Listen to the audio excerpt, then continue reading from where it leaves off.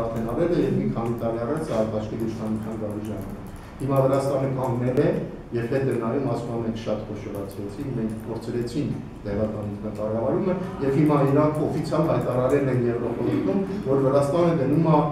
խոշոր համայնքների կիսման, որովհետև նման խոշոր համայնքները իրանց չեն արդարացնում։ Եթե սրան ավելացնենք նաև, որ մեր տեղական ինքնակառավարումը թույլ է, երկիրը կտրտված եւ համայնքները փոքրիկ ու հեռու, ապա մեծ համայնքը ինքը չի կարող արդարացված լինել, չունենալով այդ փոքր գյուղում ինչ որ մի